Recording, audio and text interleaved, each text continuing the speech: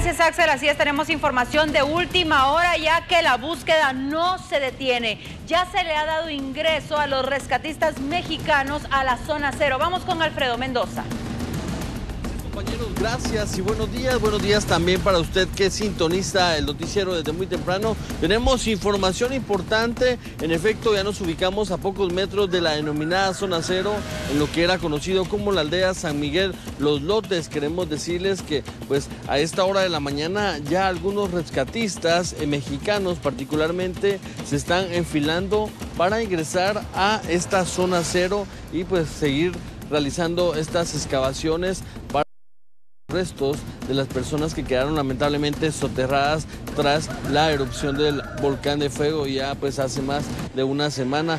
Estamos viendo en ese momento cómo los oficiales de la Policía Nacional Civil realizan este puesto de detención y ellos determinan quién puede pasar y quién no hasta la denominada zona cero. Hacen este pues proceso para eh, resguardar la, la propia zonas. Algunos pobladores pues ya han sido identificados con incluso portan una pulsera, un brazalete, mejor dicho, para poder ingresar hasta este sitio. De momento, eh, rescatistas, eh, particularmente mexicanos, han ingresado hasta esta área para iniciar pues ya estas excavaciones. Asimismo lo hacen pues otros cuerpos de socorro, en ese caso pues los denominados topos, elementos también de la Coordinadora Nacional para la Reducción de Desastres con unos oficiales del Cuerpo de Bomberos Departamentales que justo en ese momento se disponen a esta zona de riesgo, la denominada zona cero. Ustedes pueden observar pues esta ambulancia ya se dispone eh, pues a ingresar a la zona cero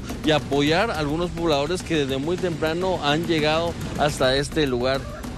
Quiero indicarles que pues el clima amanece bastante húmedo, ha llovido bastante, ya pues eh, los encargados de realizar las obras de limpieza, en este caso eh, pues han eh, encauzado pues uno de los afluentes que afectó en gran medida esta ruta nacional 14. El día de ayer podíamos observar piedras de grandes dimensiones sobre la cinta asfáltica, incluso aún hay pues restos de estas piedras lo que hace que pues, el área sea de un difícil acceso. Sin embargo, pues ya no sucede lo mismo con la lluvia de ayer, ya el agua fue encauzada y pues eh, posteriormente se tiene conocimiento que el acceso sí está siendo permitido tanto para pobladores como para algunos rescatistas. Este día pues veremos qué es lo que sucede. Ayer pues tuvimos ya el conocimiento de que se encontraron algunos restos de las personas, sin embargo pues cada vez se hace más difícil pues permanece húmeda, sin embargo el interior de la misma aún está demasiado caliente, eso hace que los cuerpos prácticamente se vayan deshaciendo.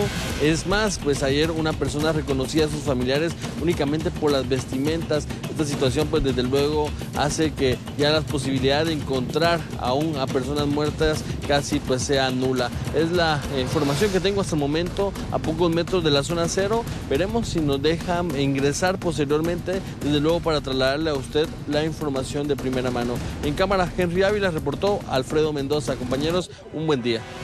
Buen día, Alfredo Mendoza. Gracias. Muchas personas preguntaban qué pasaban con las labores y ahí lo tiene usted ya la actualización informativa.